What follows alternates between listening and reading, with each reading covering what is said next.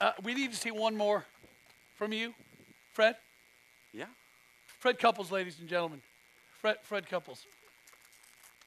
Nah. Fred, how you doing? Great to see you. Great to have you back in Portland. Oh, Peter, why'd you have to get me off the couch? Seriously, you've been playing great. You won the Senior British. Yeah.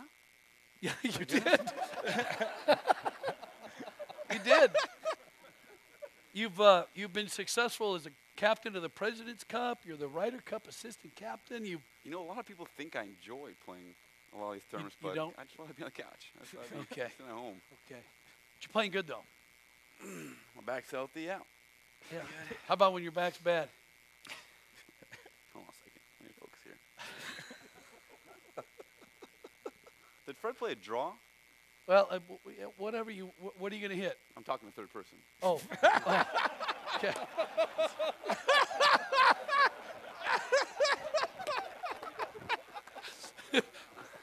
kind of a rhetorical We'll thing, huh? out. We'll figure it out exactly.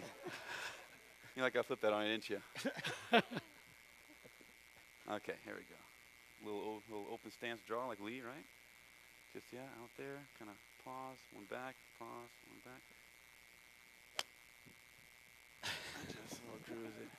Little Freddie Couples, ladies and gentlemen. Freddie Oh, Couples. oh. Uh,